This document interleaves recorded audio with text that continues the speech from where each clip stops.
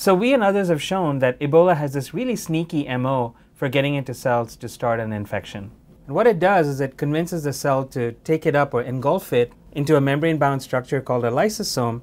Once it's in the lysosome, the virus gets transformed into a new state that allows it to bind to one of our own proteins called NPC1. This is the cue for the virus to fuse with the lysosomal membrane and release its genetic material or payload into the cell.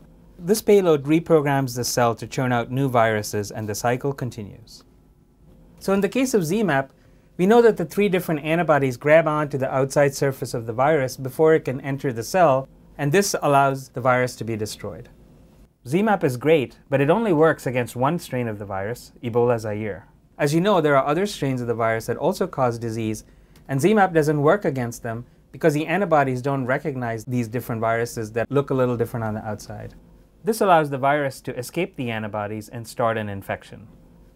So the conventional way to solve this problem is to try and find these very rare antibodies that can bind to and recognize all the different strains of Ebola.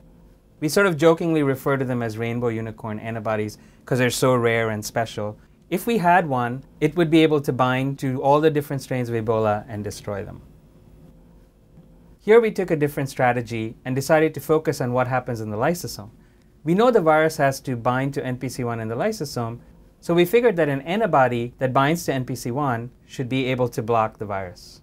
Also, we know that the virus has to undergo the structural transformation that allows it to bind NPC1, and so an antibody that targets this structurally altered virus should also be able to block infection, and importantly, all the different strains of the virus have a similar structurally altered form. So a single antibody should be able to hit all of them. So problem solved, right? Well, it's not so simple. The virus can sneak into the lysosome, but the antibodies can't. We figured that one way to solve this problem would be to give these antibodies a way to hitch a ride into the lysosome. To do this, we gave the antibodies an extra arm that allows them to grab onto all of the Ebola strains. It's kind of like a skateboarder holding onto the back of a truck to get a speed boost. Once a virus unwittingly transports our engineered antibodies into the lysosome, the antibody's lethal arm can go into action, preventing the virus and NPC1 from coming together. This strategy prevents all the strains of Ebola from infecting the cell.